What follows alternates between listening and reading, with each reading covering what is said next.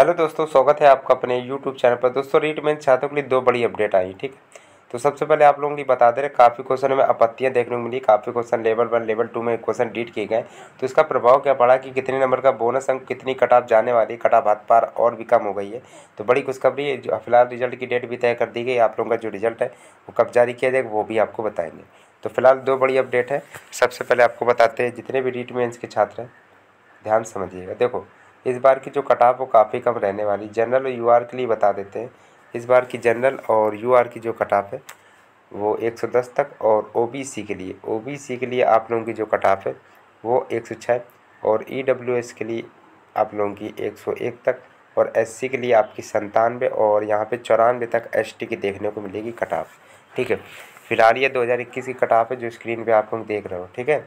और अब दूसरी चीज़ है कि बोनस अंक क्या है कि बोनस अंक आठ से दस नंबर का मिलेगा और रीट मेंस का जो रिज़ल्ट है, वो चार या पाँच दिन में जारी हो जाएगा। ठीक है, जैसे आएगा इसी चैनल पर फ़िलहाल अपडेट किया जाएगा तो वीडियो को लाइक कर लीजिएगा और चैनल को सब्सक्राइब सभी लोग कर लीजिएगा।